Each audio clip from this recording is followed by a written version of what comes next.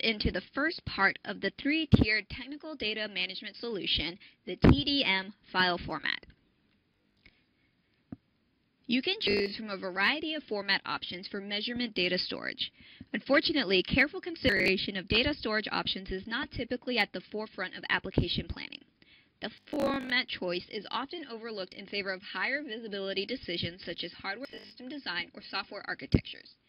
Data storage decisions are sometimes made arbitrarily or on an as-needed, per-application basis without second thought for reusability and scalability, which leads to complex and costly software rearchitectures. Because applications and requirements change over time, even the most popular traditional storage formats quickly fall short of meeting the demands of engineers and scientists using time-based measurement data.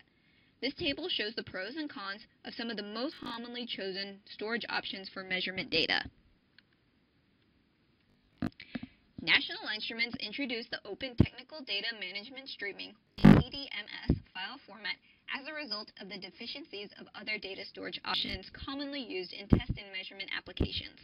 The binary TDMS file format is an easily exchangeable, inherently structured, high-speed streaming capable file format that when combined with the other technologies in, in the NI Technical Data Management solution becomes quickly searchable without the need for complicated and expensive database design, architecture, or maintenance. The single most important feature to understand about the internal format of the TDMS file structure is its inherent hierarchical organization. The TDMS file format is structured using three levels of hierarchy, file, group, and channel. The file level can contain an unlimited number of groups, and each group can contain an unlimited number of channels. Because of this channel grouping, you can choose how to organize your data to make it easier to understand. For example, you may have one group for your raw data and another group for your analyzed data within one single file. Or you may have multiple groups that correspond to sensor types or locations. At each level of the hierarchy, you can store an unlimited number of custom scalar properties, and each level accepts an unlimited number of custom-defined attributes to achieve a well-documented and search-ready data file. The descriptive information located in the file, a key benefit of this model, provides an easy way to document the data without having to design your own header structure.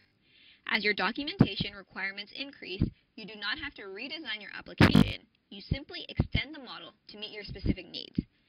The more custom properties you use to document your measurement data, the more easily it can be located at a later date by using an NI Data Finder client that abstracts complex database communication from the user. Sometimes it's impossible to use the TDMS file format.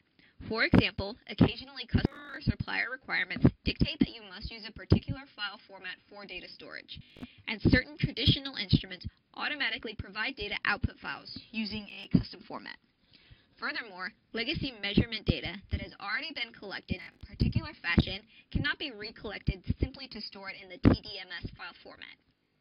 For this purpose, National Instruments has created a technology that you can use to provide a description of how to map any arbitrary custom file format onto the TDMS data model. You can create this technology, called Data Plugin, using a DSM wizard or program it using VBScript, C++, or LabVIEW. Once you have described how to interpret your custom file format using the TDMS data model, the NI Data Finder can identify and index descriptive information, enabling searchability from an NI Data Finder client, like the Data Finder Toolkit or DIAdem. To download a data plugin for the most common file formats, or to request a data plugin be written for free for your custom file format, see ni.com slash data plugin.